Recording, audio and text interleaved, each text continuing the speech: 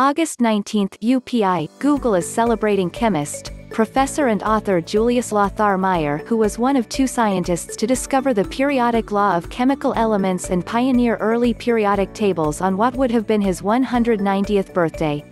Meyer published seminal textbook Modern Chemical Theory in 1864.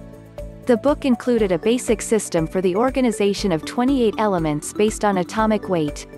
This was the precursor to the modern periodic table.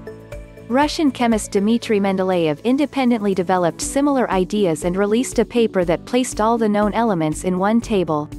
Meyer, who was also designing a comprehensive table, published a paper in 1870 that provided a line chart demonstrating the relationship between atomic volume and atomic weight that provided evidence for the periodic law describing cyclical patterns among elements.